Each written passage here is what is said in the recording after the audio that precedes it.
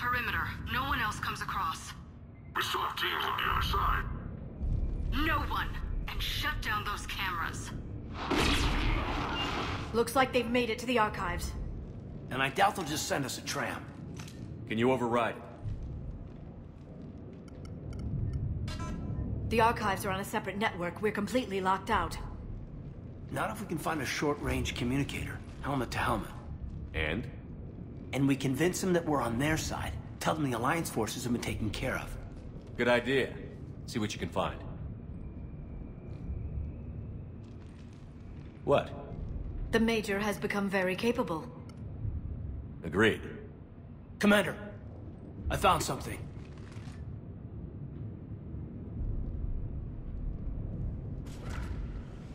What have you got? He's got a transmitter in his helmet. If I can... My god. Looks like a husk. Yeah, not quite. But they've definitely done something to him. And by they, you mean Cerberus? They did this to their own guy? Is this what they did to you? How can you compare me to him? Shepard, I don't know what you are, or who.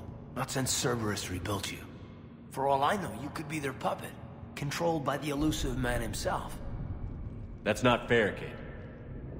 Don't try to explain it. I don't think I'd understand anyway.